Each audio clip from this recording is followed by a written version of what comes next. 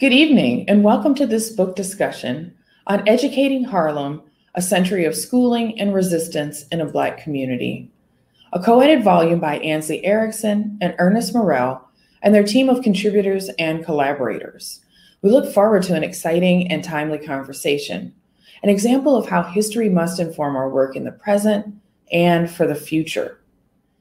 Tonight's event is the first in a year long series through which Teachers College celebrates and recognizes the importance of the Harlem Renaissance at its 100th anniversary.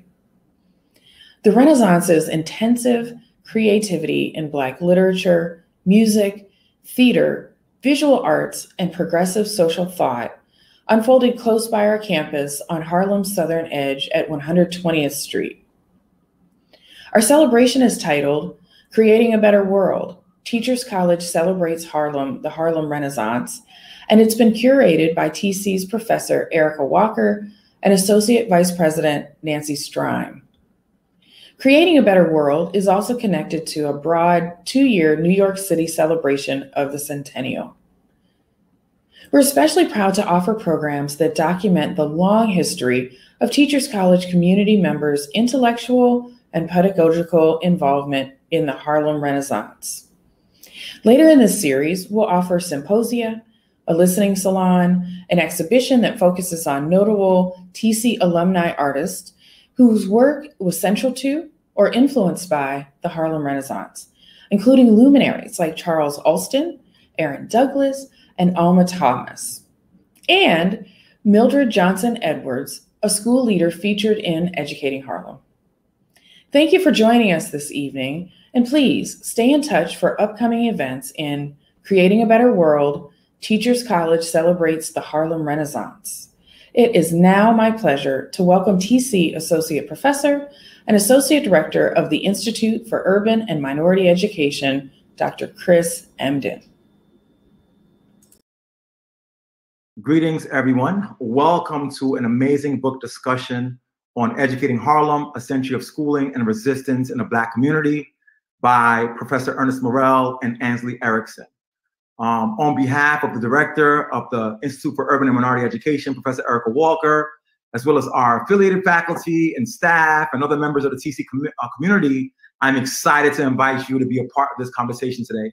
Uh, this book, uh, brilliant in scope, bringing in multiple perspectives, utilizes the education in Harlem for Black folks as a lens through which the scholars and thinkers make sense of the experiences of Black folks writ large when it comes to education and how they make sense of their education. Uh, Professor Ernest Morrell, brilliant scholar in English education, currently serving as professor, Coyle professor in literacy education, um, and director of the Center for Literacy Education at the University of Notre Dame, is a brilliant man who was former director of the Institute for Urban and Minority Education.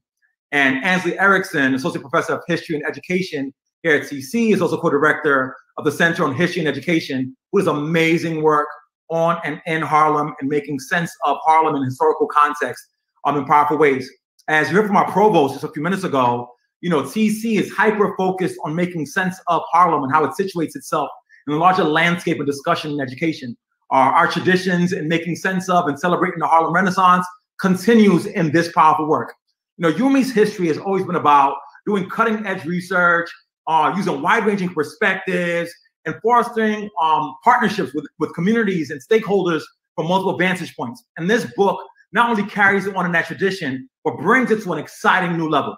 Uh, the panel that's garnered here today comes from multiple vantage points. We have these brilliant scholars and brilliant practitioners, folks who are in schools and community, who are in the Ivory Tower, all coming together to make sense of uh, the topic of, of educating Harlem through this historical but also contemporary lens. I'm excited to hear about this work. Um, excited to hear about the dialogue. And oh, one last thing. There's a, there's a talk about how cutting edge and transgressive and insightful this work is. Um, you can buy the book, of course, but it's also available online for free at Columbia University libraries. And, and it really speaks to how the scholars and thinkers behind this work are not just constructing this work for the sake of some intellectual exercise, but making it accessible and, and, and being able to be have it engaged with in community. So without further ado, you don't want to hear from me, you want to hear from them. Professor Ernest Morrell, uh, Professor Ansley Erickson, two of my favorite people in this amazing panel to discuss educating Harlem, a century of schooling and resistance in a black community. Thank you. Good evening, everyone. Thanks so much to Professor, to Provost Stephanie Rowley and to Professor Chris Emdin for those kind words of welcome. I'd also like to thank the Institute for Urban and Minority Education at TC, the Provost Office, and the Center on History and Education for their ongoing support of this work. Over the last eight years, the Harlem Education History Project has been able to embark on a range of teaching and research endeavors, including and beyond this book, thanks to you. I'd also like to thank the Harlem Renaissance 100 celebration team for making a space for this project in their lineup this fall. I also want to recognize the 15 contributing authors who joined us on this journey and the Teachers College doctoral students who worked on everything from archival research to coding the digital edition of the book, whose web address you see scrolling across the, the screen now. Esther Sina, Rachel Klepper, Lisa Monroe, thank you. We're also so grateful to our partners at the Columbia University Library who help make our digital work possible. So, Ernest, it's a pleasure to be here with you. How did we get here? How did we come to edit a book on the history of education in 20th century Harlem? Would you say a little bit about the path to this work for you? Yeah, thanks, Ansley. Uh, it's great to be here with you. I wish um, we could be in person, but it's, it's so great to have this book talk. And I got to say, every time I hear Chris Emdin speak, I just want to run out and do something. So I'm totally fired up. Um, in regards to the question, you know, how we got here, you know, for me, this started almost 30 years ago uh, when I was a, a teacher in Oakland um, high schools. And the work that I was doing with young people that started with a traditional curriculum quickly transitioned into a focus on student voice um, student agency, young people being involved in their communities. It was a way to get them really uh, engaged with the, the, the, process of becoming critically literate, but also engaged in the process of becoming agentive and even transformative in their own communities.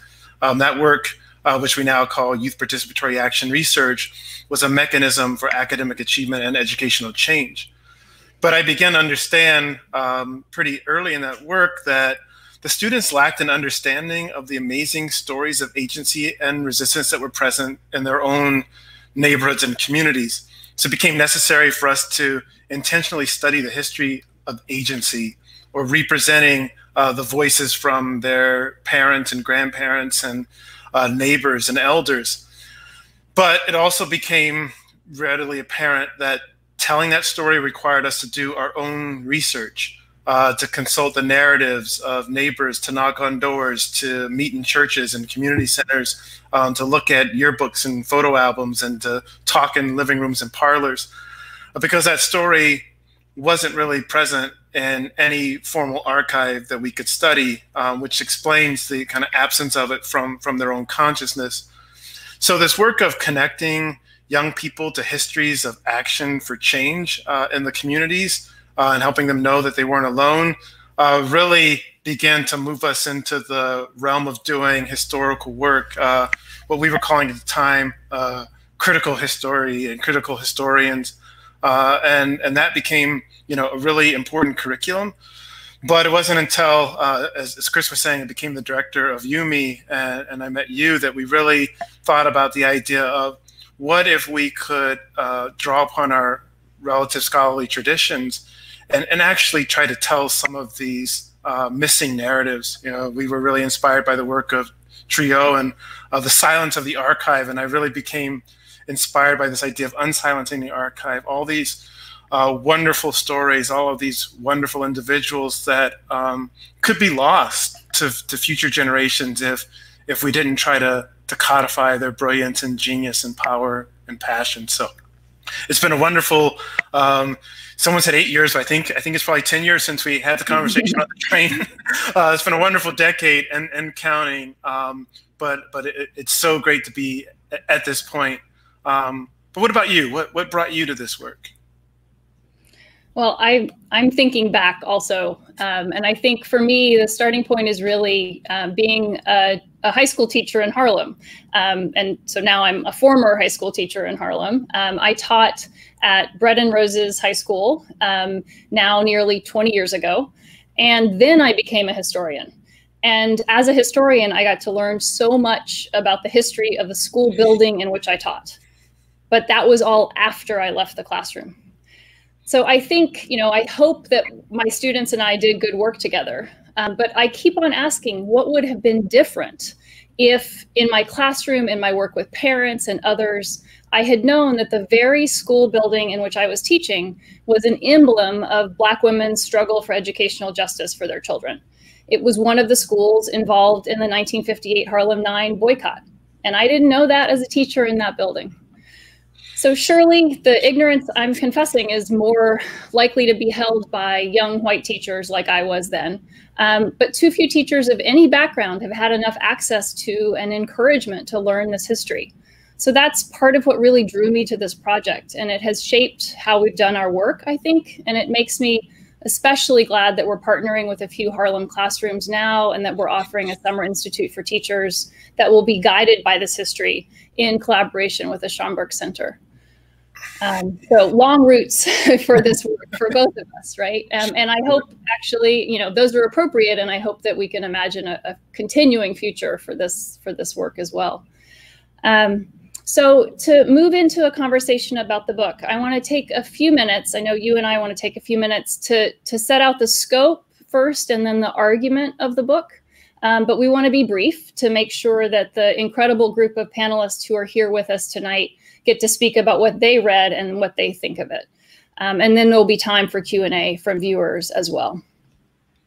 So this is a book that includes 13 chapters, which span the full 100 years, uh, the full last 100 years in Harlem's educational history.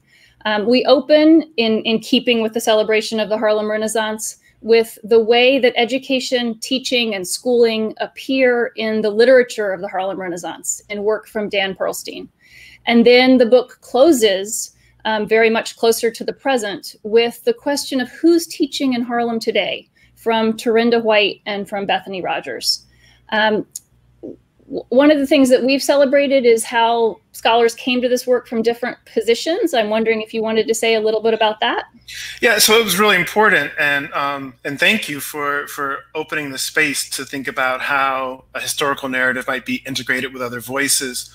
Um, so we have political scientists, we have sociologists, we have um, those who look at art and architecture, um, we have those who study social movements, um, those who look at literacy education and, and English studies. I think um, it was really enriched um, by looking at, at the past, but looking at the past through these multiple lenses, as, as I think Chris was talking about in the introduction um, it really does offer uh, kind of a multifaceted view of a single space across multiple decades in time. I think it's one of the the strengths of the book, and it was certainly um, enjoyable to, to to engage these different authors who were who were coming from such different, but I think interconnected disciplinary traditions. Yeah, I think of it as an example of, you know, historians can do things like read buildings. They can do things like read photographs, read yeah. literature, right? So we're trying to think about the full scope of this of this study of the past. Um, so the book has two main arguments when we think about how it works across its 13 chapters. Um, and and the first one I want to share in sort of in a in, reflecting on a story that has been in my mind since um, in the in the course of this work. Um, through work on this volume and through um, related projects, I got to know a very kind man named Will Buckery.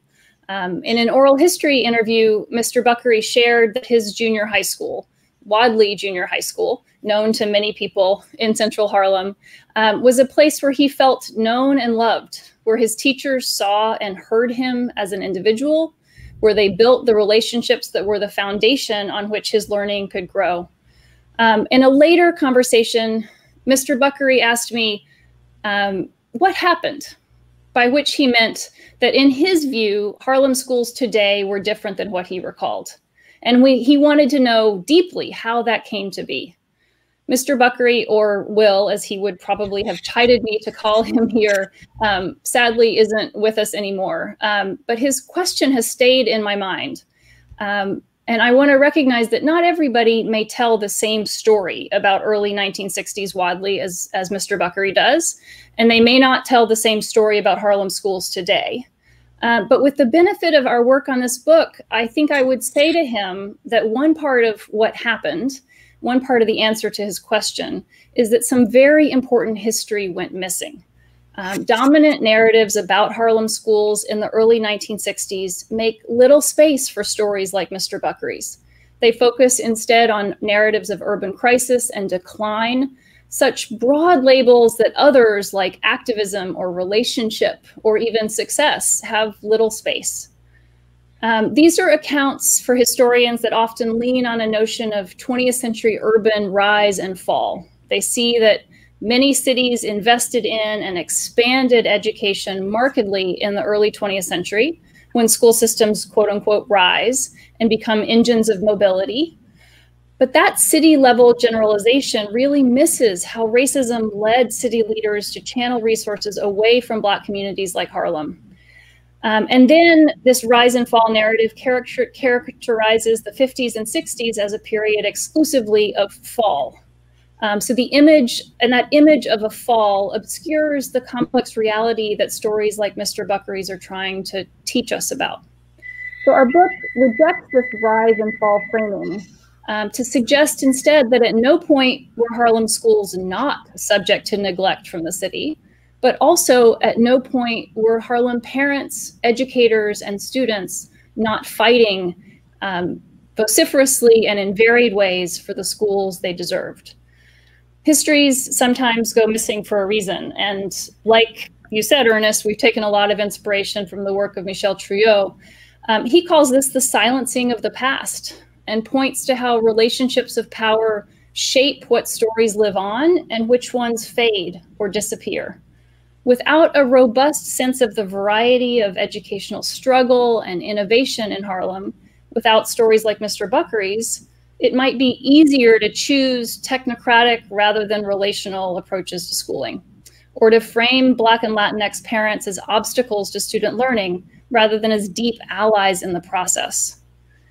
Without insistence on recognizing the ongoing structural neglect of Harlem schools, it might be easier to blame students for their struggles rather than hold policymakers to account for the inequities students face in schools each day. So I think we both hope that this is a book that contributes to a more historically informed and a more just future. That's one of the main themes of our work. Um, Ernest, do you want to introduce the second major theme of the volume? Yeah, so um, you know we were also very interested in um, moving beyond uh, the single narrative. Uh, you know, as you were talking, Ansley, I was thinking about just my class yesterday with my students, and we're reading Toni Morrison, and Toni Morrison talks about presencing. And one of the uh, dangers she talks about in, in minimizing presence is an economy of stereotype. Um, you have a flat story, you have a single story, and those we take seriously. We talk about their contradictions and complications and nuances, and those we don't, we tell a single flat story. And so we really wanted to talk about um, not Harlem, but Harlem's. Uh, we wanted to talk about not one story, but multiple stories, not one storyteller, but multiple storytellers. Uh, often when you're when you're telling a historical narrative about education, you might say, well, who was the mayor? Um, who was the governor? Who was the superintendent? And so we wanted a, a diversity of viewpoints. Um, so we have paraprofessionals, we have unionized teachers, we have artists and poets, uh, we have uh, community members uh, who were standing up for educational justice and change. And we really wanted to privilege the voices of women, the voices of young people, people who are often absent. And so you've got um, the story itself kind of told from these multiple perspectives. But we also mentioned earlier the disciplinary perspectives that we bring. Um, but the third area is just uh, we wanted the authors to really talk about variations, tensions, and debates within the advocacy movement in the city. Certainly, people were unified by a sense of um, passion and and, and, and, a, and a call toward justice, but they didn't speak with one voice. Um, they didn't always agree. Um, there were many variations. There were many nuances. There were um, really powerful and profound conversations, and there are ongoing conversations about what this movement looks like and what we can learn from it. Um, but I think it's also important uh, to acknowledge that that in the plurality of these voices, we really um, see the antecedents of some larger national movements. Harlem's educational visions were not only varied, but they became national exemplars. you think about the field of Black history and its roots in Harlem Schomburg Collection Library, mm-hmm. or Kenneth and Mamie Clark uh, pioneering educational practices that informed what we called uh, compensatory education at the time. Uh, Deborah Meier and her work in East Harlem and the small school approach that spread nationally. Uh, Geoff Canada um, and his community-wide educational transformation through the promise zones became a model that was adopted by federal policymakers. Um, those are just a few examples. But what I what I think we've done, um, hopefully, uh, is pluralize uh, the the voices that that were present. Um, polyvocality is is a term that I think about a lot. But um, you know, in the spirit of Toni Morrison, the presences uh, of all of these folks um, who fought so hard over this past century so that their children could have an education that warranted the dignity and genius uh, that was present in the community. Uh, so, but it's not all one voice, and it's and, and it's not all unified. Um, but it certainly is profound, and I think uh, while we may not have gotten every voice, and I think some of the questions in the Q and A will transition to, we'll talk about what we missed. We tried to be as encompassing as we could um, in these perspectives. Yes, thank you. Um, so I hope that gives people a sense of what we see as kind of threads or threads running through the various chapters of our book and and um, or the sort of interpretive glue that might link them.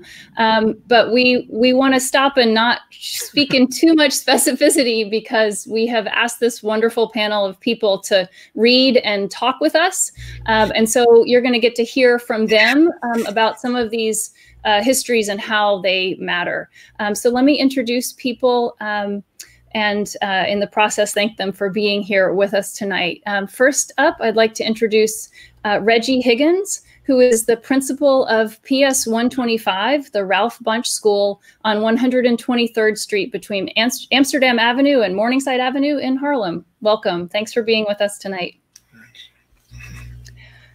And then I'd like to introduce Cidra Sebastien, who is an educator and organizer. For 18 years, she was Associate Direct Executive Director of the Brotherhood Sister Sol, a Harlem youth development organization. Thank you for being with us, Cidra. Uh, and Rosie Frascella next is a high school teacher and an active member of the More Social Justice Caucus of the United Federation of Teachers and of NYCoRE, the New York Collective of Radical Educators welcome. I want to say that both Reggie and Rosie are working educators in schools right now, which means they're superheroes for being able to be with us um, on top of the challenges of being teachers and, and uh, principals right now. So thank you both. Um, and I'm also really happy to get to welcome Dr. Basil Smikle, who teaches at Rutgers University and Teachers College and is a frequent commentator on politics. He has long been involved in Educate Harlem, including as a founding board member of the Eagle Academy for Young Men. So thank you all for being here with us tonight. And Ernest is going to start us off with the first question. Yeah, thank you so much. Uh, and this one is for everyone. Um, we'd like you to tell us about a story, um, a piece of history that you encountered in the volume that really struck you. Uh, what was it, and why does it stand out to you? Uh, and, and, more specifically, what does it mean for the work you're currently doing? Um, we'll start with you, Reggie. So I've really loved the fact of how the book opened up talking about Gertrude Ayer. And they describe really that she was a, a phenomenal leader in a time when women had a, difficult a difficult track trying to assume the role of being a principal. But Principal Ayer had this belief that what was lacking in schools was this idea that black people needed hope and inspiration. And she felt that there was a philosophy of how kids learn best that could better communicate those ideas of really understanding that we're all people and teaching black people to see our sense of our humanity. Like i was really enthralled with the sense that she had these five guiding principles when she was working like with children and she would talk about that one you're a person, you're a human, seeing your sense of humanity. And that kind of goes against what was taking place in other parts of the country where blacks were being dehumanized and blacks were being taught how to see themselves just as a, a source of uh, a resource to work. Um, to be subservient. And she wanted Black people to understand I want you to fully participate in your life. Um, but she was doing it through the lens of uh, progressive education. She also wanted to really ensure that people understand that you don't have to feel inferior to anyone, to understand that you have a responsibility to your community, to your nation, and also that you have a contribution to the world. Why that's important is that for me, my school building, um, before it became a public school, was a private school that opened um, by John D. Rockefeller. It was called the Lincoln School. And I always wondered what was taking place in other parts of Harlem, um, specifically for Black people. Um, and when you think about the work of what Gertrude Ayer was doing, it kind of helps understand that there were educational leaders that were also trying to create access and equity for the most underserved in the city at that time and continue to be. And I think that the implications are that how can we create a space where young people again make meaning for themselves that they see that the school and that the learning environment is the third teacher in the classroom that the environment in itself has to be designed in a way that makes an inv- that an individual want to learn that she also wanted kids to understand that learning doesn't also have to take place um, in the confines of a wall, that learning also takes place in the community. And most importantly, that she would continue to push this idea that learning is done by the learner these ideas, you know, unfortunately, are not dominant ideas. That not the progressive education, you know, isn't something that we still talk about in education. It is, but that it's something that we struggle with against this idea of external accountability and how we support Black children and other children of color on improving their learning outcomes through this very myopic way of getting strong test scores. And I think what you know, people like um, Principal Ayer was trying to say is that if you don't expose children to a more holistic uh, approach of learning, exposing them to the arts, connecting the learning in ways that are relevant and meaningful for them, that learning doesn't take place. And so it was very um, eye opening, but it also inspired me to kind of continue the work that I'm doing. PS 125 is the first progressive public elementary school in District 5 right now. And the fact that we're able to lead this work in District 5 kind of reminds me that people like Principal Ayer started this for us. And so it's up to people like myself and my teachers to continue this journey. Thank you. Thank you. Cidra? Thank you, Ernest, and thank you, Ansley, for the invitation to be with you all today. Um, there's so much about the book that resonated with me, and so I'm going to reflect on two stories in particular. Um, and so one comes from chapter nine, which was written by Russell Rickford, um, Black Power as Educational Renaissance. Um, and for me, it was this really cool opportunity to learn more about the rich history of how conversations and curriculum that were grounded in power, transformation, and liberation existed in Harlem schools in the 60s and 70s, which is where the bulk of the text takes us, and how we see that today. Um, and so when Russell is writing about um, establishments that strove to cultivate Black and Puerto Rican identity. Um, we see many examples in Harlem today of organizations that are focused on activism, arts and activism, resources, community based organizations, research centers that are also centering Black power, but all the other diasporic communities that Harlem has grown to, to see as a part of its home. Um, and so while the demographics have shifted in Harlem from 1960s to 60 years later in 2020, when we say Black, we're not just talking about one monolithic group of folks, and Harlem is an example of that. I think about you know, when I used to walk down 116th Street from the west to east side, and you can see the diaspora of Black Harlem going from west to east, right? Um, you can see the changes in the Latinx identity in Harlem, which was at one point majority Puerto Rican and is now grown to include Dominicans, Colombians, Ecuadorians, Mexicans, and folks from other Latin American and South American countries, as well as the Caribbean when I think about Harlem today and I think about institutions that are very much grounded in power, transformation, and liberation, I think about the organization that I had the opportunity to co-lead for such a long time, the Brotherhood Sister Sol, which is located in West Harlem. I also think about organizations like Street Corner Resources, that's run by Sister Sekou, that really focuses on addressing um, violence within the co- uh, community, ending violence, but also bringing other resources to Harlem so that folks in the community have exactly what they need to make Harlem home. I think about institutions like the Caribbean Cultural Center, the Schomburg, um, institutions like Firelight Media, the National Black Theater, all these rich institutions that are really spaces for Harlemites and other folks who come to Harlem um, to explore what being in the community that's connected to power, transformation, and liberation can look like. And so, while the author for this particular chapter centers organizations like the Panthers, the Black Panthers, and the Young Lords. I think 60 years later, we can look at some of these institutions of being um, either directly grounded in those histories, inspired by that work, but definitely spaces that are thinking about how they're using their platforms, how they're using their resources to be a space for Harlem to think about liberation.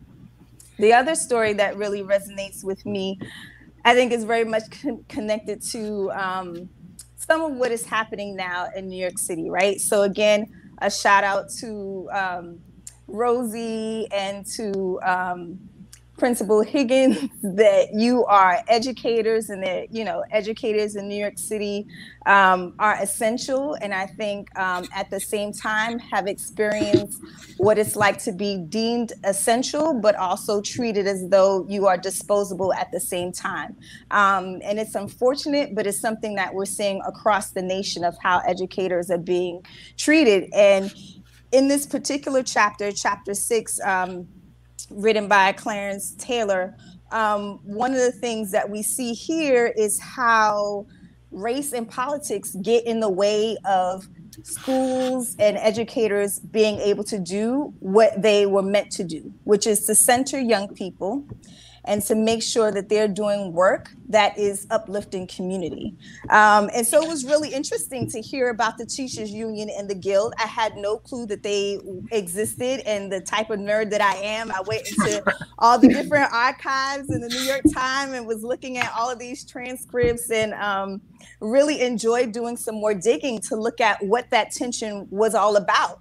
Um, but um, it was really interesting to see these two unions at the time. Um, and really, the tension really came uh, in the 1950s um, to see how that tension spilled out and really um, broke alliances that were building around um, parents and teachers. Um, communism, the big red scare, that got in the way of people really centering young people and centering communities. So it made me reflect on today, all the different things that get in the way of schools and educators being able to center young people. Um, in that chapter, there's a lot of data about um, segregation for folks who are not aware. Um, there's conversations about what um, the Brown decision in 1954 meant nationally, but specifically in New York City.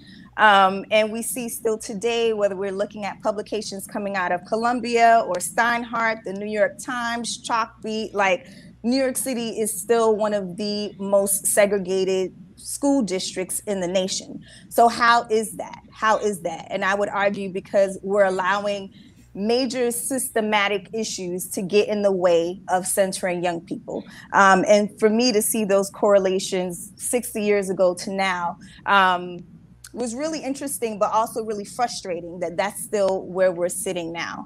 Um, and so I, I think after reading that chapter, a lot more upset and uh, a lot of unanswered questions. But I do think that a part of the the answer is to make sure that those of us who say we care about teachers, those of us who say we care about young people and we care about public education, that we're doing our due diligence to actually listen to what students are asking for, to actually listen to what educators and families are asking for, to fund them properly, to ask them what makes them proud about being a student, what makes them proud about being an educator, and to figure out the policies and the funding that we need to put into place to ensure that we are lifting young people and we are lifting the people who serve them. Great. Thank you so much, Cidra. Uh, Rosie? Uh, hello. Um, yeah, I mean, Cidra, I, I totally geeked out on that chapter as well. Um, Clarence Taylor is amazing.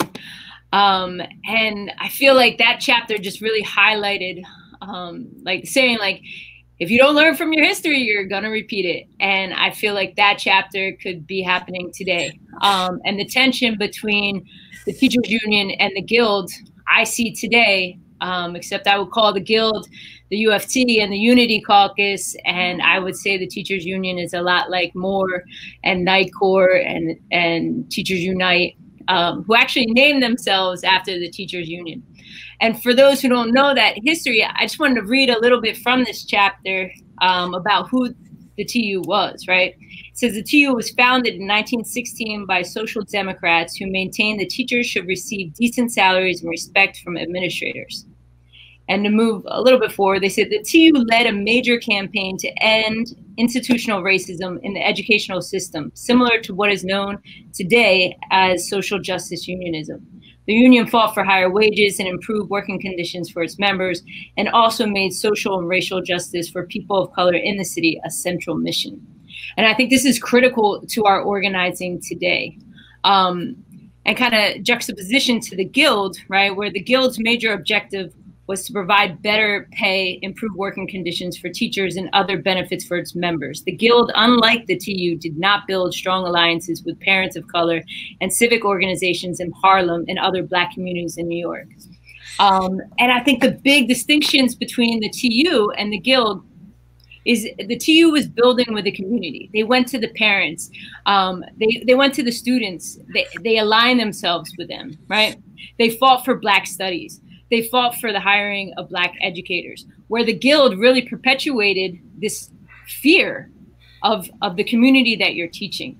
Um, and actually like protected white teachers from their students. And I, I, don't understand how you could ever teach students that you were scared of, you know. And I see this today um, with the UFT. Like I, I'm the chapter leader in my of of my of the UFT uh, for my school, and you know like a lot of times we're fighting for things like this safe room right? We're fighting for things like to keep security guards or safety agents in schools for metal detectors right? Um, i feel like if we don't look at institutional racism and the ways in which we are perpetuating it especially as a white educator then i can't teach my students. I can't love them if i don't reflect on my own self um, and I think this is really important to the work that we're doing today is that we need to align ourselves with, with our students. We need to listen to them. We need to listen to our parents. Um, and I feel like when we do that work, that's when we become stronger schools. That's when we become stronger educators. Like even in the pandemic right now, like we, my school, we operated from the from the notion of protecting ourselves and so we, we reached out to our students, we reached out to our parents, and we asked them, What do you need? What do you need to feel safe in our school? And we went from that. Um, and I think that's what we need to continue to do. Um, in the organization that I'm working with MORE, um, you know, we're fighting for things like the Black Lives Matter Week of Action. And now this year we've made it a year of purpose. Um, and we've actually brought it to the UFT multiple times and they have not endorsed it as a union, which I think is shameful, right?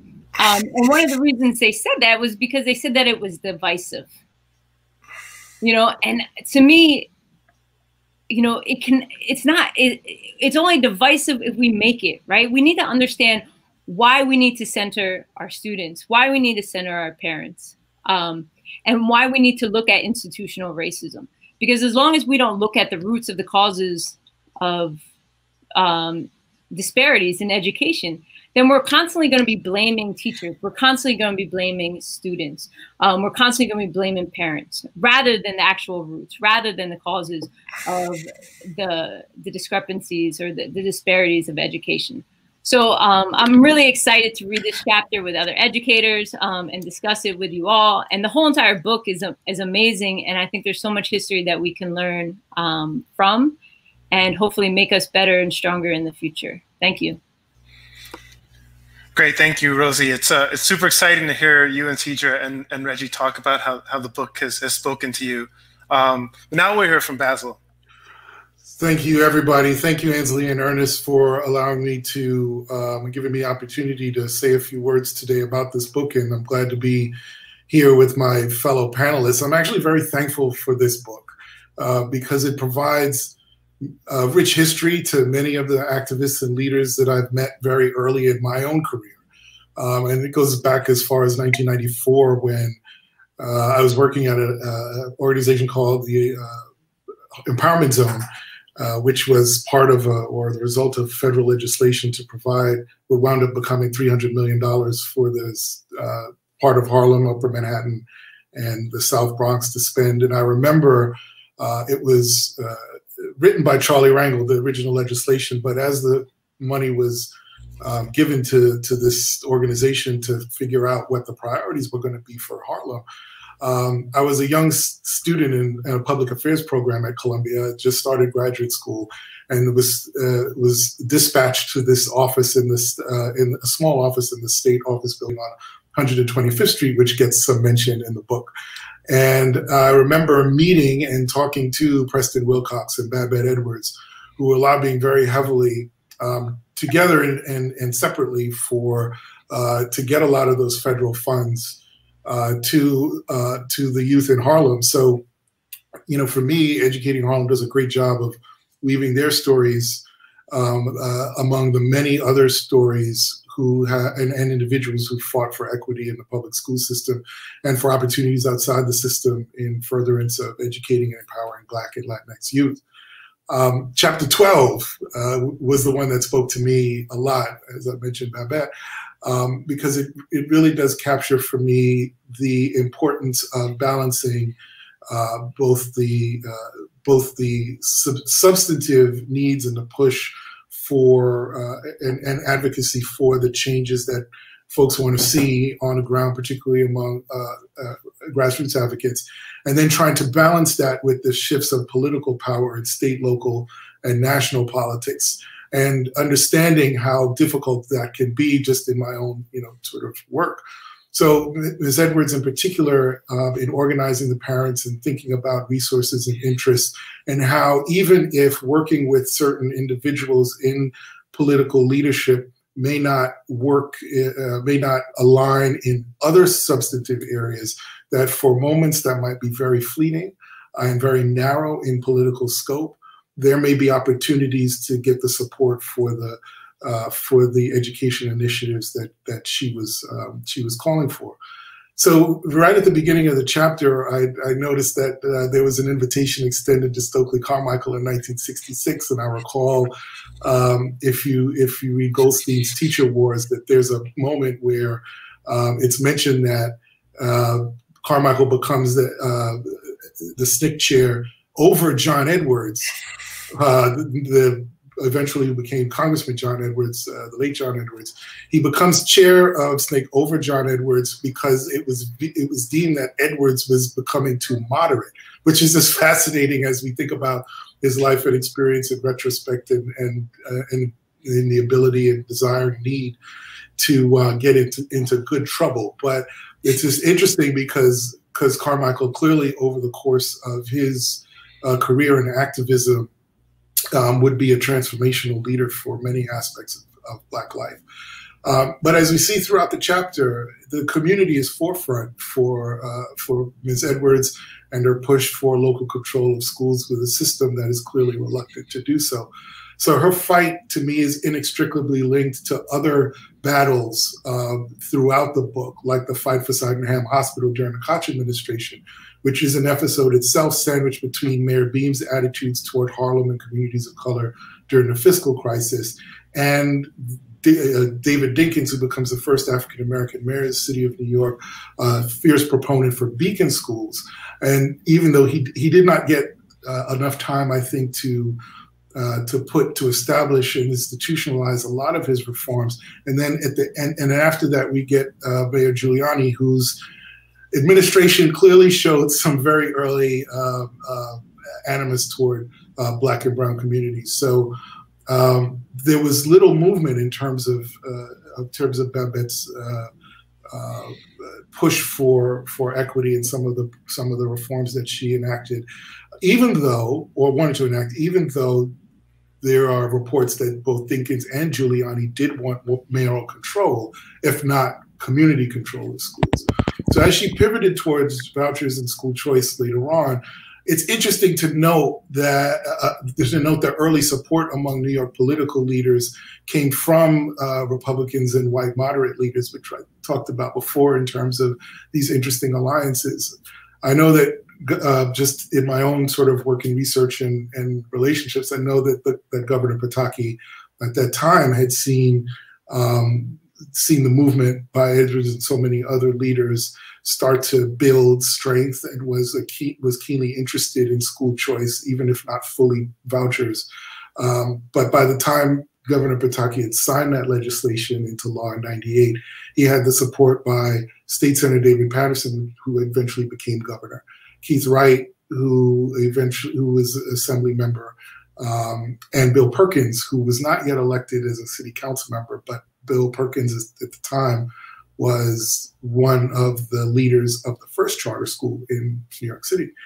Um, so you had all th this interesting alignment of interests, and what what I then started to pivot to was this this moment of reflection as I kept reading, because one of my early mentors, a guy named Arnie Segarra, who was one of the an advisor to the Young Lords and was part of that church takeover in East Harlem. Um, we were at an informal gathering with he and another young lord named Felipe Luciano, and we were talking over lunch. And he said to me, Every movement becomes a foundation. And what he meant by that, one of the normal pearls of wisdom he used to drop on me, his point was that movements, ideas, even radical ones, sometimes have a way of becoming institutionalized. And oftentimes, once they reach that point, they may resemble very little of what their original intent was. So I thought about that statement when I was reading about Babette Edwards, push for school choice in Harlem. So because not only do we see the challenges at the state and city level as she attempted to promote vouchers and, and, and school choice, but in thinking about how doing that, you got essentially a competing bill in state government by, uh, a, by a white uh, resident and white activists who were concerned about what it was going to what this would mean for their schools as an attempt to you know to keep from integrating right? So so we're introduced to the politics around the schools the, the, the kinds of schools that she envisioned. And one wonders if the entire movement if you will wound up being co-opted and altered in ways that have created more problems than they than they actually intended to solve I do, if you know, in it, which I'm very vocal about, and it's it's in my bio that I do support charter schools. I'm on the board of the New York Charter Center, um, but I acknowledge the challenges that they pose. And it's interesting because in Chapter 11, we're reminded that schools were not only, and I quote, schools were not only for educating children; they were visible public institutions that served as meeting places for various populations, and they symbolized the broader commitment of the city to the neighborhood. But charters can also be seen as a quote colonial outpost, another impenetrable agency governed from afar, which is mentioned in another uh, discussion about community school relationships in chapter nine. So in my own research, members of the Bloomberg team lamented, I, and in talking to them about this, they lamented that their reforms may have been, quote, disruptive to the community. And so since school choice options remain limited and dictated in large part by forces outside of Harlem, you know, I wonder how, you know, Babette would reflect on what's happened, uh, what's what's happened since she made the push initially for school choice and its impact on families in Harlem. So, you know, just to sum just to sum up, um, you know, I think it's a I think this book is a tremendous narrative in history and suggests that there is a continuum uh, that a lot of these fights are along a long continuum of support for parent agency and self-deterministic approaches to education. Um, I really think about something that Dr. Morrell said earlier about documenting the history of agency. And I think that's a great way to put uh, what this book I think means to me, and I think it contributes to the to the understanding. And I just want to call out people like Arnie and Felipe and other leaders like William Allen, Teresa Freeman, David Banks, Denise Scott, Daniel Moss Lee, and so many others that help me understand these issues and these fights, and that even in the work that I do to help move the levers of political and bureaucratic power so that I don't become the stumbling block for people like Babette, the Babette Edwards of the future, um, who want to who want to provide agency for for the communities that uh, mean so much to us. So I thank you uh, for the, a, a great opportunity to talk about this book.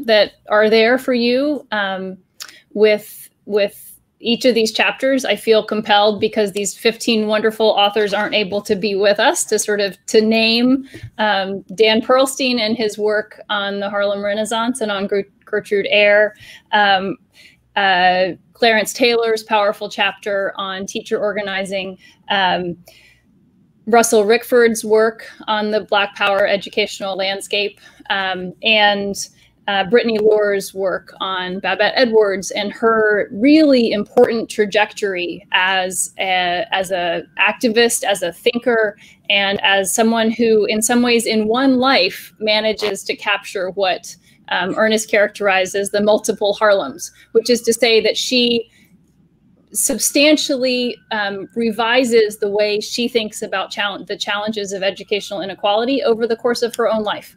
Um, and the, the ability of one person to do that is all is a good provocation for all of us to be thinking about that kind of diversity of, of political and um, ideological commitment in, in any community and certainly in this one.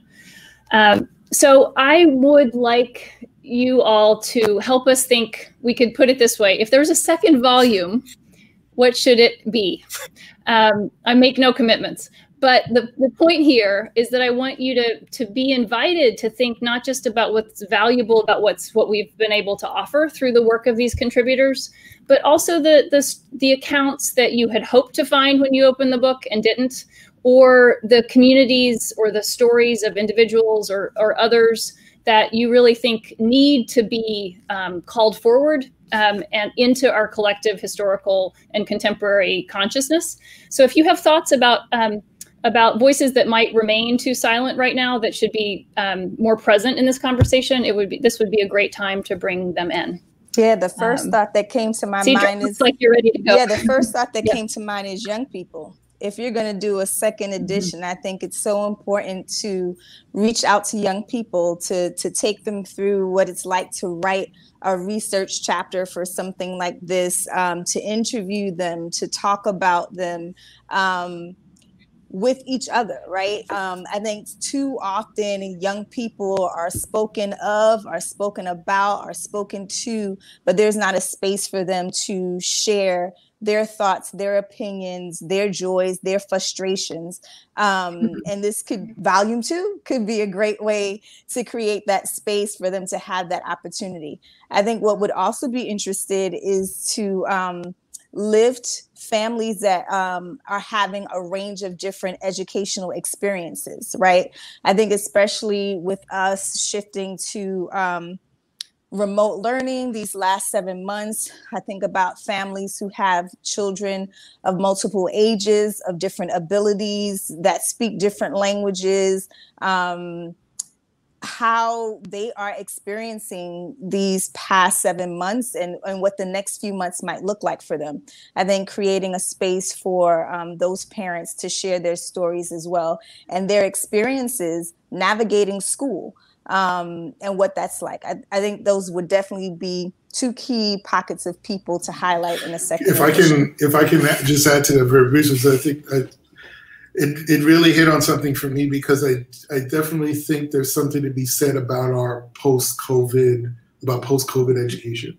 With all of these articles being written about how um, how this environment is for is is deepening the divide between rich and poor I would love to learn, I would love to know more about how young people are faring in this environment, not just the challenges of the of the adults in their life, but also the challenges that young people are facing, whether it's just whether it's trying to learn, whether it's just engaging with their friends and and, and colleagues uh, in school, their peers, you know what it's like not being able to engage in extracurricular activities and and and think about how they manage trauma, just the trauma that they would normally have in their lives that they may be able to um, deal with differently if they were in a school setting versus you know not you know being you know having to just uh, stay at home. And the other the other sort of thing, which may be a little beyond the scope, but I often think also about moments like this when um, other other forces kind of can come in uh,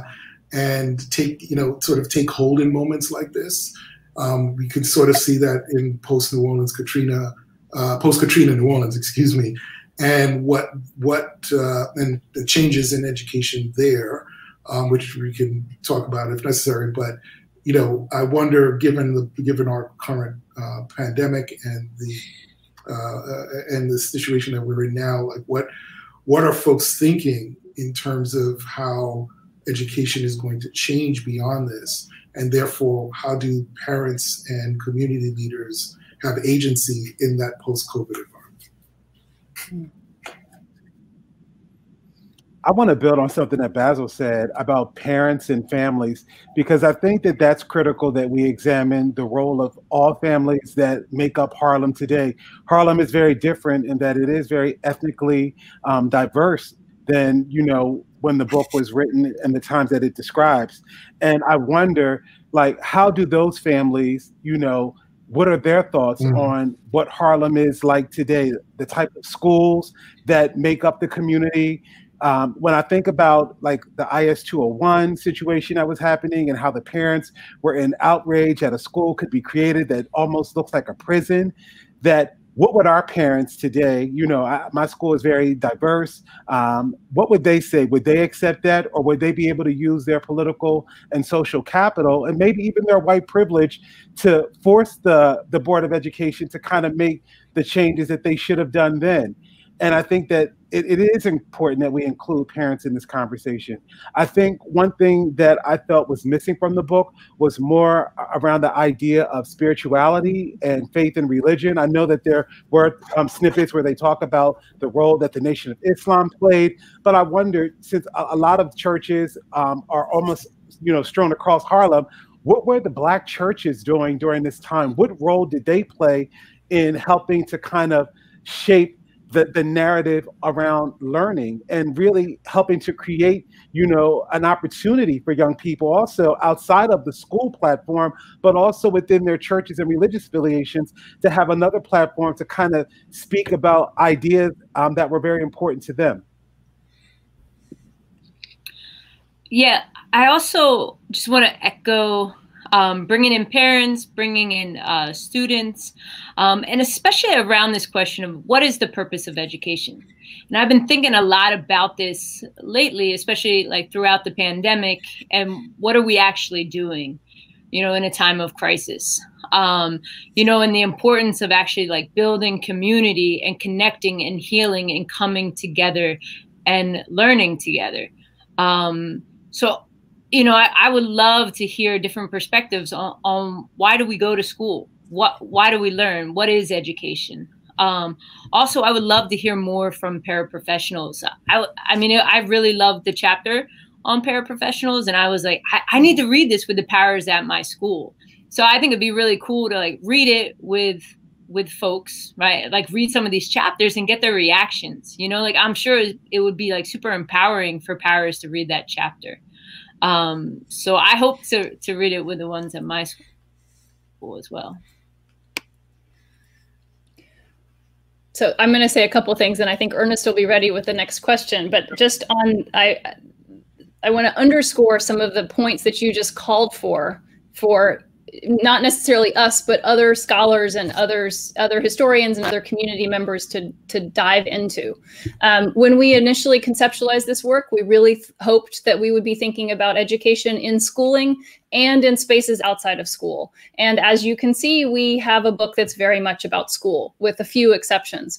Um, but to Reggie's point about churches as educational spaces, and to Rosie's point about the value of the uh, of trying to answer the basic question of what school is for by paying attention to educational spaces that are not necessarily school. Um, there's a tremendous amount of work yet to be done. Um, there are young scholars beginning to do some of this work um, on after school spaces, on um, on community education spaces, on churches, um, but there is tons to do, and um, and that's a real. I really appreciate um, your comments that help remind us that all of education is not schooling, and sometimes historians and and scholars are, are prone to focus only on schooling in a way that um, might miss some of the more dynamic uh, potential that exists elsewhere as well.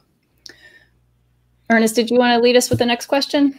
Yeah, um, sure. I, I also wanted to just offer um, a couple of comments about about the response because um, there were two layers. Uh, one I, I thought, as Ansley talked about, and that's uh, who is the um, who is the subject uh, of of uh, voice. But but I think there was also uh, comments about who authors, um, who's given mm-hmm. voice. And it, it, it, had me thinking about genre. Um, you know, Cidra was talking. You know, it's not just the Haru story about how how young people um, were involved, told by uh, adult professional historians. It's uh, how how are young people reflecting on the past and the present. And so, if there were a volume two, um, you know, we we could we could challenge ourselves even further to think about this notion of polyvocality. Um, we we could we could certainly add new new narratives about um, uh, churches or or families or young people, but uh, I think we could think about authors from from different locations. Uh, so so here's a question um, where we're going to start getting some some questions flowing in, uh, and and and here's one that I think uh, some have spoken to. I think Rosie had started to speak to this. So we've been talking about Harlem, and and and obviously that's the the, the subject of the book in a very specific way and, and, the subject of this kind of celebration. But there are many around the country uh, who who want the book to speak to them in some way. So the question is, uh, Harlem has had a distinct place in the landscape of, of, of Black America, but how do you think this history or the particular stories that you told apply either to other neighborhoods in New York or outside of New York City? Or is it applicable in your mind?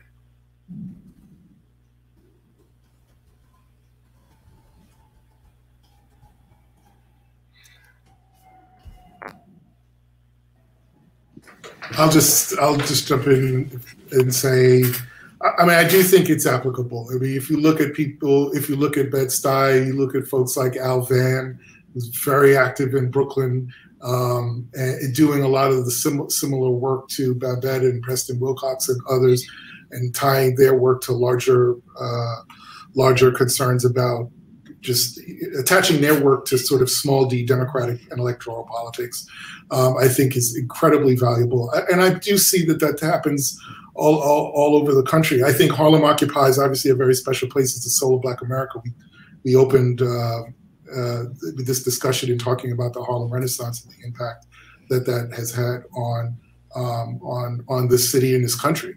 Um, so I do think that Harlem occupies this very distinct place. But I and it, but I also go to Reggie's point earlier. It's changing dramatically, and it, and that's also happening in other parts of the city and in the country. Certainly in Bed Stuy East New York. Um, in, in parts of Queens and certainly in the South Bronx, you definitely see uh, the, these these movements occurring in very similar ways. But what's what's interesting now is how different a lot of these neighborhoods really are, and the extent to which um, these new newer families, um, how active are they going to be in their in in in local agency? And just two very quick things that I'll say as a result of, as, about that one of the things that I think is interesting, and it doesn't get picked up by the book so much, but it's it's sort of there in that a lot of folks who were sort of black middle class in Harlem at some point left. And a lot of those same families who are much older now and raise their kids outside of this outside of the city in the suburbs, in some cases actually wish that they had not left. And what does that mean? What would that have meant for how Harlem would perhaps have looked today?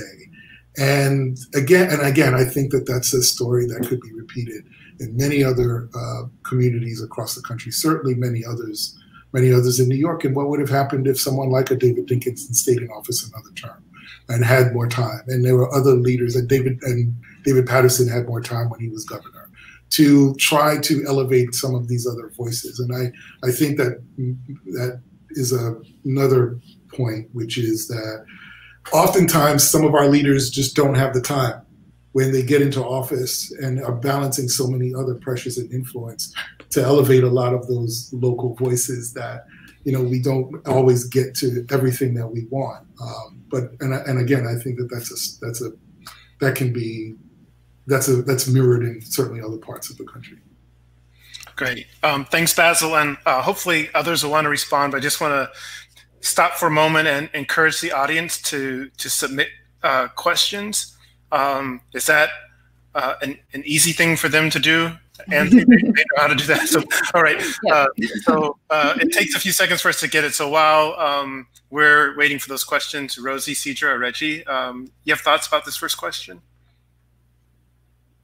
Yeah, I think that leadership oftentimes is about relationships. And I think whether you're in Harlem or you're in Bed-Stuy or you're in the South Bronx, principals and teachers have to kind of figure out how do they navigate the internal politics of their community to be responsive to the needs of the kids and families that they serve in their direct community. And so one of the things that came up in the book was this idea that you sometimes don't need money, but what you need um, is honesty and the courage. And what George Floyd has taught us is that, you know, black people have known that, you know, we've been, you know, treated by police inappropriately for century. You know, this is not new for us. And so now there is this consciousness around how do we engage and have this conversation with other people? Because it's not Black people that need to talk with other Black people about how do we teach police not to kill us. It's how we teach other people that are not part of the community to kind of engage in these conversations on what are you going to do to use your privilege to kind of make this different? And then how can we use that to also think about how are we creating more access and opportunities for all kids to have equal opportunities in school. I think that it's not just something that has to happen in a Harlem, but I think that it is something that is relevant to other parts of the city and even the country on how leaders um, all leaders, from teacher leaders to principal leaders to community leaders, come together on organizing around some of these things that are most important. And that is how do we improve the quality of lives like for our kids? How can we ensure that what we're going to turn over to our kids is better than what we've given them? Because what we've given them, you know, hasn't worked. And it's not safer today than it was then. So I think that there is something that we all can do. But at a local level, it's having leaders to kind of put those um, external politics to the side and try to figure out what is what are some solutions that we can work on together to make it better. Great, thanks, Reggie. Um, Rosie, Cidra. Uh, yeah, I mean, I'm really interested in defining what is social justice unionism, especially when you have a workforce of educators that are 80% white. And so, is it you cast a wide net and you get everyone in to engage in the union, even if they're racist, um, even if they have teaching practice that hurt children? Um, or are you visionary and you lead with a vision and you do the work to um, to really have those hard conversations, right? And to call people in. Um, and this has been a, a, a point of contention in in the organizing that I've done. Well, some people say, well, democracy is getting everyone involved. So then what do you do when you have problematic teachers? You know, and this is kind of what the chapter on unionism talked about when, you know, like the Guild was trying to like stop like, protect teachers from transferring into Harlem because they were scared to teach there. Um, so I think this is a really important question for our country right now Um, like, how do you engage and um, engage white people in a deal with like white supremacy culture, especially when they're educators? Um, you know, like I was talking to a, a, friend of mine who teaches in who who lives in South Jersey, and they're not even allowed to talk about politics in school because it's so divisive. Like they're not allowed to talk about Trump and they're not allowed to talk about Biden, right? And to me, that's so sad, right? That like we actually can't even talk about like the election that's happening, one of the major things in our society. So what does that mean for schooling? Um, and and I don't I don't know the answers to this, but um, I think these are important conversations to have because you know we're we're in this together, right? Like for better or worse, right? So how do we have those conversations? Great, thanks, Rosie. Yeah, I, I think a part of it is the willingness to get messy and to have a little bit more frustration before we get there. But I think because so many things are connected to a term or to a cycle, um, and a few people were talking about this before, um, folks maybe don't have the time that they need to really unpack and undo things, right? So if um, somebody is in office and they're expected to move an agenda forward in four years, if that agenda that they're trying to move forward is trying to unpack centuries of oppression, is four years enough time for them to undo it?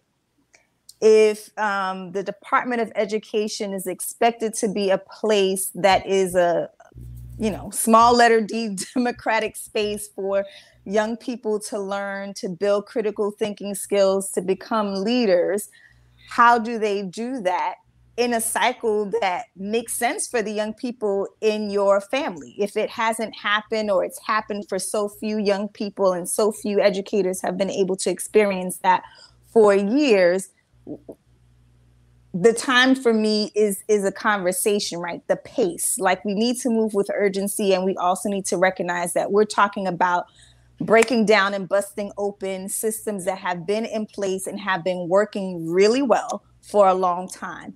Um, and going back to what Principal Higgins was saying, it's also a question of leadership. We have to have the leadership that is down to get dirty and get the work done.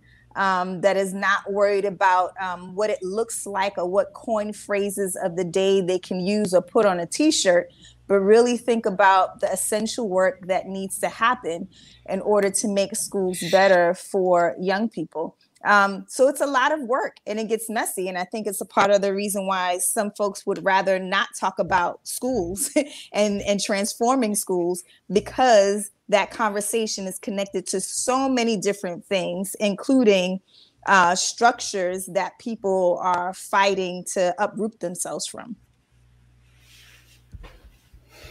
Thank you all. Um, I want to say a little tiny bit in response to those thoughts, and then we'll shift to um, taking some questions that are coming in um, online, which is great to see people with a lot of, of things to ask you and and us about.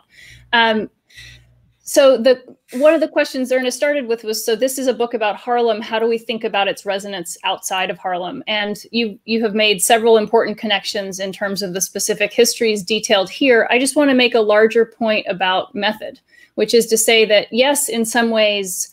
Um, you know, Harlem is a distinct American community. The the particular concentration of you know tremendous um, intellectual power and and right next to Manhattan, all right inside Manhattan, all of these things make it very distinct. But the questions that we were motivated to ask here, the sort of what is the story of educational activism and struggle in this community, are questions that bear asking in any American place. And when you ask them, and this is to go back to that really rich point that Cidra just made, when you ask them, you not only hear stories about how families over generations have defined their educational ambitions and struggled for them, but you also hear a very deep critique of the structures that um, that people are encountering. And those are structures that are not only educational ones, but they're structures in employment, they're structures in health and in labor. And so very quickly you see um, how inseparable educational struggles are from a wide variety of, of social concerns, all of which are, of course, um, even less um, even more crucially foregrounded through the pandemic right now. Um, so I hope that people thinking um, thinking of themselves as rooted in places outside of Harlem can take this work as, a, as an invitation to ask these similar questions in their own in their own sites. Um, so I saw one question that I thought we could start with, and then we'll and Ernest and I will sort of pass back and forth. Um, um, and I think this is a question probably for all of us, not just for Ernest and I. Um, how do we think about crisis um, in thinking of the immediate um, crisis that is COVID? How have we, what have we learned about how educators and community members in Harlem have navigated crisis? How have they approached crisis? And how does that help us think about the pandemic?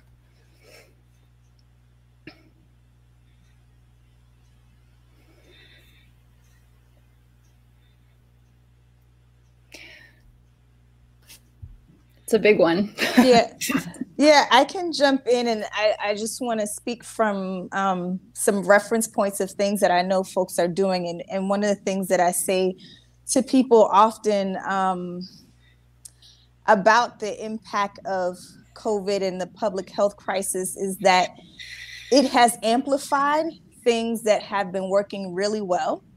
And it has amplified things that are just trash, that are just have been horrible and have always been horrible. So, um, if you are connected to a community that knows what it's like to struggle, that knows what it's like to come together and share resources to make sure that everybody is great, that has been amplified. But if you're part of a community that is disconnected, whether that's a workplace, a school place, a place that you might worship, that is amplified. And I think what this virus, this pandemic has allowed for people to see are all of the broken pieces, are all of the mm-hmm. cracks, are all of the fires that have been ablaze for a really long time. And so maybe initially folks were like, COVID is the reason why I fill in the blank. And it's like, mm, systematic racism is the issue, sexism is the issue, broken schools are the issue, how we fund things that really make a difference in a community, that's the issue. And so um, when I think about what we have learned about navigating it, I would hope that people have learned that you just need to name things as they are. Um, I hope that we've also seen what it means to really come together as a community. I think about Brosis, and for the last seven months, it has run a food pantry every seven every single week for seven months. And this initially was a monthly pantry that was in partnership with another organization. But midway through March, they realized that they actually needed to do it every single week and it's not a food uh, uh, distribution site. Like that is not the mission of the organization to end hunger in harlem or in west harlem. It's a social justice youth organization. But it recognized that that was a need that young people and families connected to the organization but also connected to the community in which it is situated needed support with. And so for every week for seven months and it will continue. Staff have gone out there for hours to literally feed folks. Uh, we see mutual aid being talked about across Harlem, but also across the city as a way in which communities are taking care of each other. So I think one of the lessons that we have learned is definitely that we need to name issues as they are and not try to cover them up but also we need to dig in and really think about community um, in proximity, but also community and values and how we're leaning on each other and on our values to support each other through really tough times. Um, I agree with Cidra. I think one of the things that really came up for me was this idea of how much lack of quality healthcare and how it negatively impacts kids and their families. At the height of the pandemic, 26% of the families that died in Manhattan lived in the Grant housing projects. And you think about the fact that many of those families um, struggle with chronic asthma, um, hypertension, blood pressure, diabetes, and the kids come to school with that trauma. And as a school, how are we equipped to kind of help kids and their families navigate you know, the sense of loss. And so I think in a real way, it requires, you know, again, people at the school community willing to kind of say, we know that our primary function is to facilitate teaching and learning, but right now we need to lean into our humanity and make sure that we're okay and taking care of each other. Because not only are kids and their families experiencing this trauma, I also have to be mindful that my staff that also had to deal with their own sense of challenges and sense of loss also need someone to kind of lean in and to take care of them. There are kids and families right now in my school community that still don't have access to remote learning devices. And so you, you figure like in the greatest country in the world, how is it possible that even today kids are still being denied, you know, their their right of free public education because they just can't log into a computer um, and there is no perfect answer but i think that you know as a system there has to be some sort of reflection on how do we better prepare for these moments that will continue to occur. You know covid is just you know one incident and i think it just kind of highlights that those that already were at risk really are the ones that suffered the most and those that kind of were okay. Like i had families that could go to their summer homes and i had families that were just just trying to just stay alive and figure out how am i going to feed my kids? Um, but again in a community where you're able to organize yourselves people are willing to step in parents were donating and giving money but you know where are like the social supports that kind of already established to create access for quality health care where are the systems that support family with having access to feeding their families? And most importantly where are the resources that allow families to have a wage where they don't feel overwhelmed because they lost their jobs that they're going to be homeless and that their kids are going to come into a school and want to participate in learning? It's unrealistic. And so we need to do a different job of how we're also training educators for taking on this dual responsibility of how they support kids socially and emotionally around some of this trauma and it can't be what the doe is doing by saying hey watch this video on trauma and you'll learn a lot how you can help kids in crisis it's deeper than that yeah i think that um you know, what you are talking about, uh, Cidra and Reggie, really resonates with what we were trying to talk about in the book. Um, Ansley mentioned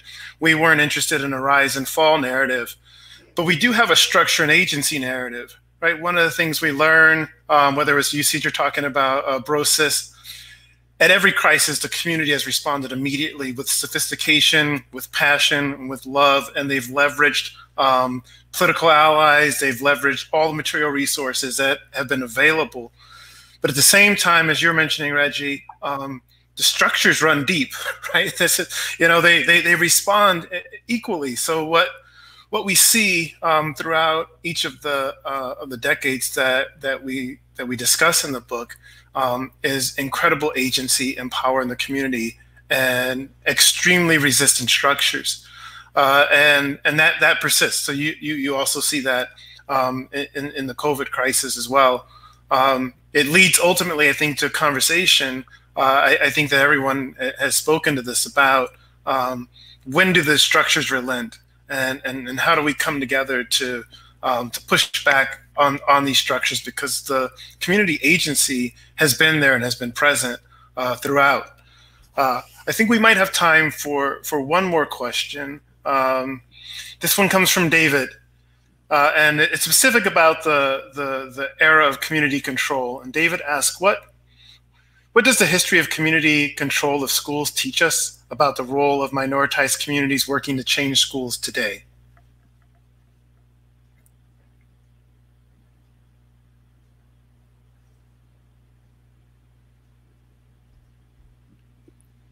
Um, I could say listen to the community. Like they know the kind of schools that they need, right? Don't be afraid um, of community control. I think that is one lesson we need to learn in New York City. Like we are stronger when our community is invested in our schools. So we need to create structures that allow communities access to schools, that invite parents in the schools. Like schools should on the weekend should be having birthday parties in them you know like like space is is needed in new york city and we should open our doors and find ways to create like opportunities for community to come into it and use those spaces to Rosie's point, it's one of the reasons that the first chapter really resonated with me so much around progressive education. I was in a school that historically had low performance and only followed a direct instructional model. But when parents um, and myself and my teachers came together to really support this idea of how can we embrace progressive practices? Because we thought that progressive schools were really only something that privileged kids that went to Calhoun or Bank Street were able to really participate in. Because when we looked at the public progressive schools the type of work that they were doing just from our perspective, didn't have as much academic rigor. But parents were saying that, you know what, if our kids are going to come to your school, we need to ensure that they have access to the arts. We need to ensure that they have after school programs, that you are attending to them socially and emotionally. But that only happened because you had parents and community leaders and the educators that work with me to kind of move this idea forward. If not, we would still be like other District 5 schools stuck in this rut of how do we continue to get good test scores and really focusing on a curriculum that's just narrowed towards ELA testing and math testing. And the people that lose out again are kids. I, will just add, I agree with everything everyone has said, and I'll just add, just to put my political hat on, that the challenge is the, the, the problem if you were to call it that, is that there are a lot of political leaders that aren't sure what they want. And I, what I mean by that is that you see the sort of ebb and flow of the, of the thinking around community control. It's the it's the mayor, it's the leaders of the district who are trying to figure out do I actually want to be in charge of the schools right now or do I want to be able to point fingers somewhere else and lay blameless, right? And so that's really at the heart of what's at a lot of these considerations because you've had several mayors in New York tired of being blamed for schools that the blame for performance of schools that they didn't control saying well i want control but then realizing i don't know if i really want full control. I do want some buffers that will allow me to um, to, to sort of step away from the blame and step away from the finger pointing so i don't i don't have to answer for everything. And that that's that's a challenge. And you get around that by as was said before giving communities control over the schools and allow and allow it because they know what what's in the best needs of the families and the children that are there um, but the but the problem is often a political one in that school and it's i think important to note that education broadly and schools in particular, particularly schools in communities of color, are used as political footballs. And that that is something that, in addition to the institutions, runs very yeah. And I would add, yes, that it is. It, it's definitely about political leaders. I'm also thinking about roadblocks and how sometimes political leaders can be roadblocks but also what people value and what people fund. So I don't want to get away from the money. And I do think that um, community control, when one community is valued and given the setup to actually control their schools and provide what is wanted and needed for the young people and the families in that community, that works. But when we're talking about community control and some folks are constantly having to bang against roadblocks, constantly are not getting the resources and the funding that they need to create the schools that they want for their young people and for their families, then people say, look at that, community control doesn't work. But what got in the way? The political roadblocks, not getting the resources, not having the setup so that they can be successful. So I think that that's something that needs to be named as well. If we really want to see community control of schools work, then we have to set up communities to do it well. I'm sorry, can I just add very quickly? Because you said something that is, I talk about this all the time. This disparity is incredibly important because it, it really does show how exactly what you're saying is, it exemplifies exactly what you're saying. There's a school on the upper, I won't name it, but there's a school on the Upper West Side where the annual parent contribution is $1,500 per household. Right? So that school's parent association raises over $1.5 million a year to do what it wants. So when the city stops, fund, you know, reduces funding in different, you know, in different ways, they will find a way to supplement that with whatever is coming out of the, those homes, right? With that with that additional income Whereas two blocks away or a couple blocks away, the schools that the children in Frederick Douglass houses go to, right? And it's very different. And yet we saw what we saw when there was a proposal to eliminate the zoning so that those some of those kids could go to the schools on the Upper West Side. And you saw the, the vitriol coming from a lot of those parents, then you really do understand how people protect what they have. And then we'll we'll draw, we'll protect those political boundaries. That dialogue, if you haven't gone into it, it incensed me so much because these are liberals on the Upper West Side. But if you listen to their language, it, it could sound like anywhere else in the country. And that, that to Cidra's point, it, when you're dealing with that kind of disparity, literally blocks from each other. I mean, how do you how do you cut through that? Um, it, it, and I go back to the earlier point. I mean, it runs deep. It runs deep. Thank you so much, Basil. Um, it it is in some ways the most appropriate place to end, right? Which is a reminder of these trenchant inequalities and people who are still deeply invested in protecting them. Um, and in some ways, it's also a very frustrating place to end, right? Because it might um, point us away from um, the the power that individuals and communities have marshaled and demonstrated in the in the stories that we're trying to tell over the last hundred years. Um, but it is exactly that structure and agency tension that is at the core of this work. Um, so my unfortunate job is to say that we're out of time. Um, to say that I know that there's some wonderful questions that got posed um, that we haven't had the chance to answer, um, but we'll see what we can do about that. And um, I want to uh, try to recognize the um, 15 contributors to this volume by showing you their names and encouraging you to um, read the open, accessible, free digital edition of this book um, at the URL that's streaming here. Um, these wonderful people came to us as graduate students and as senior scholars from institutions around the country. They were tremendously generous in working together and individually over the last several years of work on this volume. And it's um, a, a, pandemic tragedy that we can't get together and toast them in person. But I want to make sure you see um, their names. Um, and I want to thank everyone for being with us tonight. Your comments and your questions and your provocations for future work are really important. And they remind us that um, whatever happened to get bound in the covers of this volume is is certainly not enough. Um, and and I think that scholars and community members, um, I hopefully will take your your call to to to advance this work further. Um, and I hope that everyone with us tonight chooses to read more um, with your good questions and thoughts in mind. So thank you so much.